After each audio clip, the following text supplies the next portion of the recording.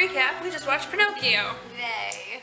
Yeah, what do we think of Pinocchio? Uh, Jiminy Cricket is a terrible conscience. The worst. We changed one of the rules from every time Jiminy Cricket gets ignored to uh, every time he's the worst conscience ever. Yeah, because we remembered it wrong.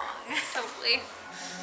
I'm still wondering how many days actually passed when, between like when Pinocchio left his dad and when they found each other again because it seemed in Pinocchio's timeline like two days, but in Geppetto's timeline it seemed a lot longer. Yeah, because there were like spider webs and shit in his in his house. Yeah, Um, D- it doesn't fall, it doesn't match up. also, Cleo totally should have joined the ocean fish. Yeah, how how did she end up with them at the end? Get a pet sitter. How was that a kids movie? I really don't. Who thought that would be a kids movie? And it's based on a book, right? Sure. It's like, who wrote that book, and how did they think that that was Who wrote that a a children's book? Because all of them donkeys, boys Yeah. turning into donkeys on Pleasure Island, There's while they're smoking and drinking and What is nah. the uh, actual like origin of that? Like, I wonder what they were, what their message was supposed to be about that uh, whole turn little boys into donkeys thing. Well, yeah, I'm sure it was like, don't do drugs, kids. You'll turn into a donkey. Don't smoke, don't drink. Clearly, don't drink. Don't drink, guys, or you'll turn into this. Pinocchio. It is a book. Good, I thought so. I mean, it started with a storybook on the on Um, Disney, so it's got to be a book, right? Uh, it's a novel for children by Italian author Carlo. Uh, so it's Italian, so that's why it's all scary. Italians are scary, kids. uh, from 1883.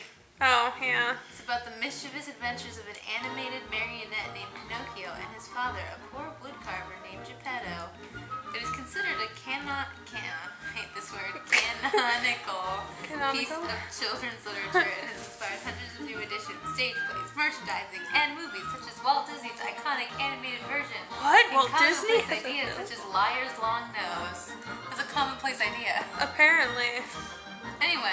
So I feel like it's one of those like everyman type things where mm-hmm. they're like, "Oh, kids, learn lessons, be moral, or you'll be an ass." yep. Listen to your conscience even when it's a terrible one. But when it threatens to quit and then walks away, and it's like, "Wait, what? He's in trouble?" Mm-hmm. Oh, he's happy without me. I guess I'll just quit, even though he's in trouble.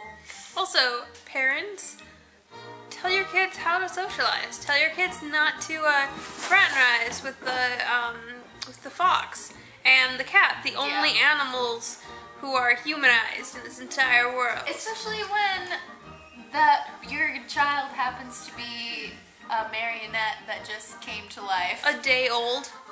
Yeah. When your kid's a day old, don't he send him to school. What's going on. Take him to school. Walk that kid to Pick school. him up from school. Or at least tell him what time he should be home.